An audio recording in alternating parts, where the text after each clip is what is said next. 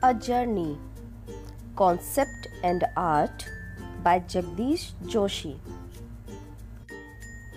A page from a book was drifting in the wind over a garden. Just then a caterpillar fell upon it. And the caterpillar looked around. The page was still fluttering. Brother, you sure? You make a lot of noise? I have never seen you before. Who are you? asked Caterpillar. I am a piece from a book. said Page. Caterpillar asked in wonder. What is a book? Page smiled and said, Book is the treasure trove of wisdom.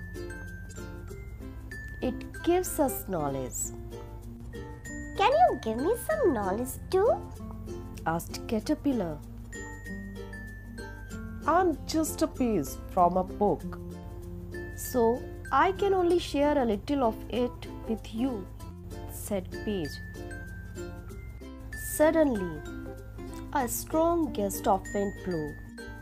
Page was carried up in the air. Caterpillar held on tightly. After a while, the sun peeped from behind the trees.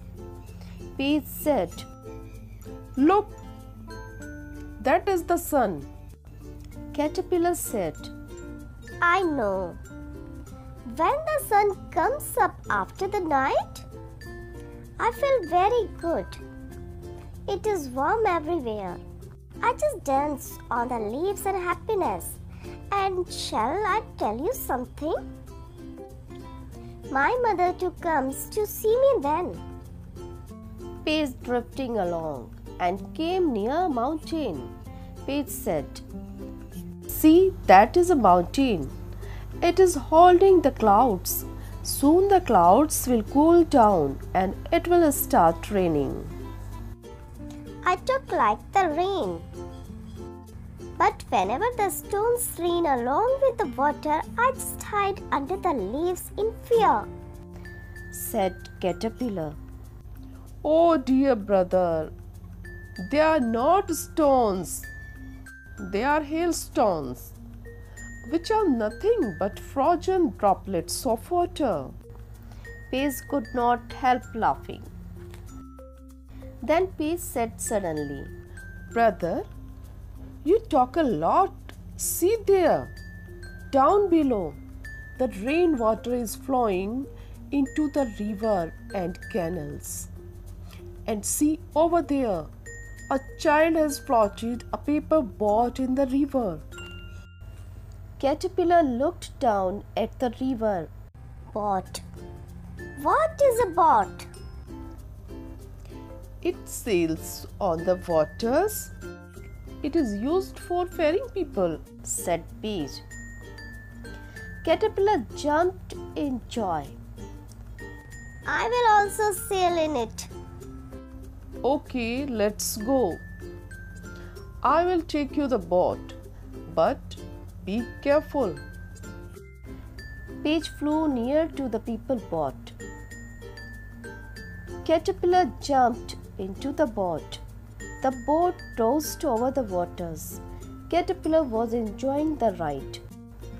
Since Page kept cautioning it time and again, Caterpillar returned back to Page. Both moved on further ahead. They saw a few children playing in the field. Page said, Look at those children. How happily they are enjoying their games. But Caterpillar was not happy to see them. I don't like them at all. They trouble my mother a lot.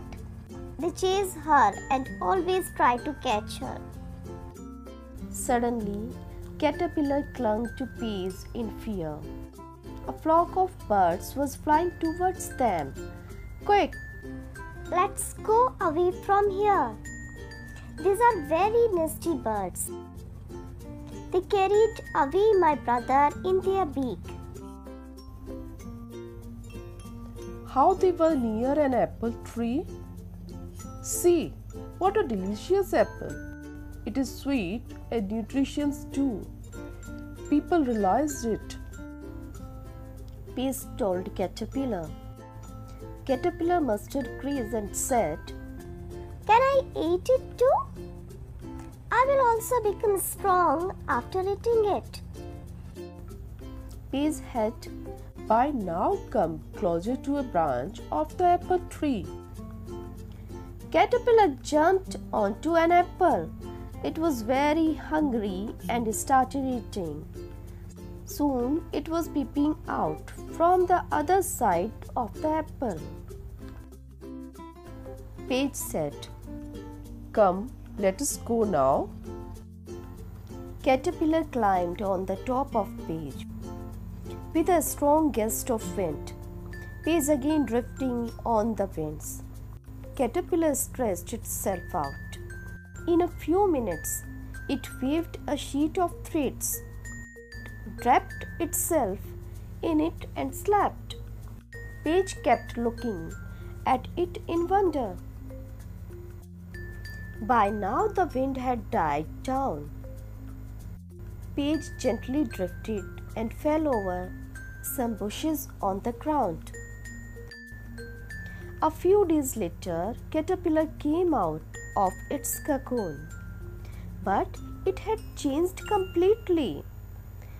It was happy with its new form. It kept flapping its wings for some time. It thanked Page and flew away to start a new life. Page too fluttered in the air as if bidding it farewell. The end.